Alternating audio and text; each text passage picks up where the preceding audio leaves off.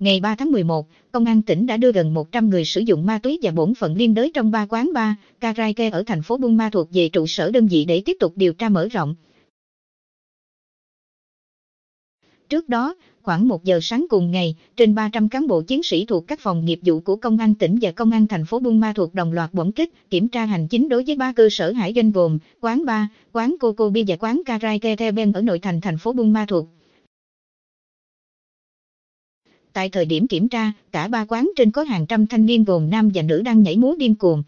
Trong đó, có nhiều thanh niên đang có biểu hiện phê ma túy. Kiểm tra nhanh, cả ba quán trên có 88 thanh niên dương tính với chất ma túy. Đại tá Phạm Minh Thắng Phó Giám đốc Công an tỉnh tại hiện trường. Đại tá Vũ Hồng Dân Giám đốc Công an tỉnh trực tiếp chỉ đạo trinh sát triệt phá các tụ điểm ăn chơi thác loạn ở thành phố Buôn Ma Thuột. Quá trình kiểm tra, cơ quan chức năng đã nắm Hoàng Minh Tuấn 24 tuổi, trú tại phường Tân Thành, thành phố Buôn Ma Thuột, là đối tượng nắm đầu đường dây tổ chức mua bán bất hợp pháp chất ma túy tại các tụ điểm nêu trên.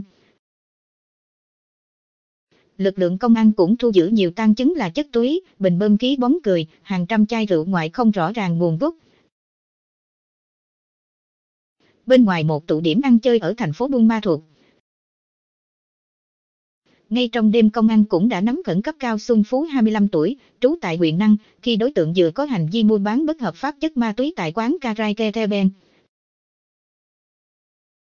Trong một năm qua, nhiều quán bar và tụ điểm karaoke ở thành phố Buôn Ma Thuột đã bị công an tỉnh xử phạt, một số đối tượng đã bị khởi tố về hành vi chứa chấp người sử dụng ma túy và mua bán ma túy.